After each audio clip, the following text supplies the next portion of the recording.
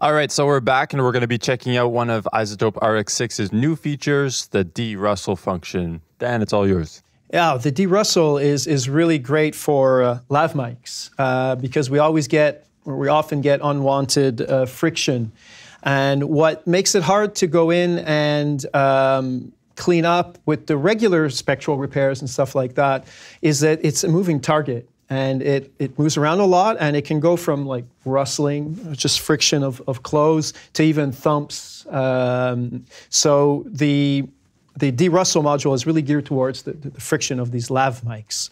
Um, so here we have an example uh, really extreme example uh, and we'll see uh, what it can do with it. So let's give her a listen.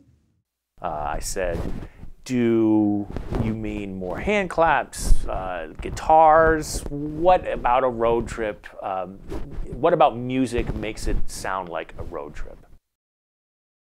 Uh, but you can see that there's lots of rustling. We'll listen to the beginning part again. Uh, I said, do you mean more? Right, so that's pretty extreme. And uh, with this extreme example, I'm pretty confident we can get to some good results. So um, De-Rustle, little leaves as the uh, icon for the module. It's a pretty simple uh, module. There's reduction strength, and it, you can go from it, this. This is your your kind of like your threshold of where it's going to start to remove uh, the the noise and the amount of reduction you want to apply. Um, and it also it's detecting what again it's part of the machine learning. So it's detecting what the voice should be in, in this signal. So the higher you go it's you get more of what the voice should be. But which is often needed especially in a, a case like this is, is, we often need to go to the maximum or, or, in this case i'm pretty sure i'll just leave it at the maximum. Uh, what this is going to do so sure it's detecting really what the voice should be and it's going to remove uh, all the other stuff except it could get sometimes unnatural. You get some dropouts. Um, so we have ambience preservation here that kind of brings up a little bit of the noise floor and the natural ambience. So by playing with the reduction strength, isolating what the voice should be, uh, removing all the rustles, um, we then play around with the ambience preservation to kind of fill in. We don't want it to just drop out. Um, so let's give this a go at strength uh, 10 maximum, because this is an extreme example. And let's leave the ambience preservation off. And we don't have the preview or output noise only here. So we're going to explore the, the, the, compare function. So if I click on compare, what it did is it processed the audio into this um, uh, kind of like a buffer queue.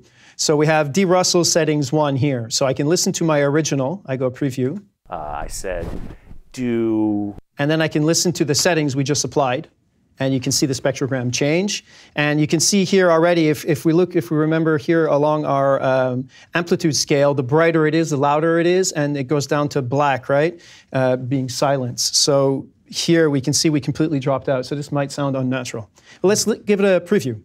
Uh, I said, do you mean more hand claps, uh, guitars? Not bad, eh? Uh, except for the, the, the dropout, right? Yeah. But uh, if we focus in just on the wrestling, I think it did a great job. Let's go back to the original to give you an idea. Uh, I said, do you mean more? And after the removing settings. Uh, I said, do you mean more hand claps? So as I said, it kind of drops out, right? So we'll keep this setting one as a reference point, and we'll just change the settings here. We'll bring up some ambience preservation. Let's bring it halfway. And if we hit compare again, you see that default, uh, we have the, the, the, sorry, the De-Rustle. So if I hit compare, um, we get the second settings here that uh, we can audition.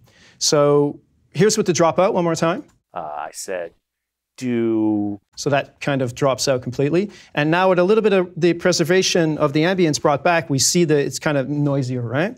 And so let's listen to that. Uh, I said, do you mean more hand? So in this extreme example, I think a little bit of the, because uh, we're removing so much that it's going completely silent, um, we bring back a little bit of the natural ambience and uh, kind of get a best of both worlds, right? Remember sometimes um, it's, um, it's, it's not about complete removal. It's uh, about uh, reducing. Uh, of course, in something extreme like this, if you had the time and budget, you know, and you notice it on set, just re-record it. Uh, but if we're stuck with this in post production, we can still do a good job. Uh, another little nugget might be that uh, you can run these two or three times at lesser settings on top of each other, and sometimes you get to a more transparent result. Mm. So um, as we can see, in an extreme, even in extreme settings, it's still manages to save the audio. Yeah, it seems like a, an amazing tool to, to have access to. And so, actually, a question for you in terms of um, its application in a musical sense. Can you think of anything where, where this would be uh, useful for a musical setting? Or um, yeah, I'm trying to think now that you're asking. Um, well, because there, there is, um, I was thinking maybe like in, in Foley or, uh, well, it's not music, but um, anytime a microphone, if anything rubs up against the microphone. But usually in music, no. I mean, um, we're miking from a distance, right? It's really the lav that's on top of, of an actor, mm. uh, and in this situation where they're moving a lot. So that's where we usually have the friction. Of course, there's ways of, of protecting your lav so you don't get uh, rustle. But uh, off, off the top of my head, I don't see any. This is really one of these specialized tools, in, in my experience, anyways, very specialized for this, this application. Mm. Yeah. Awesome. Whoa. Thanks, Nick. Great, man. Awesome. We'll uh, we'll keep going with uh, with other new features.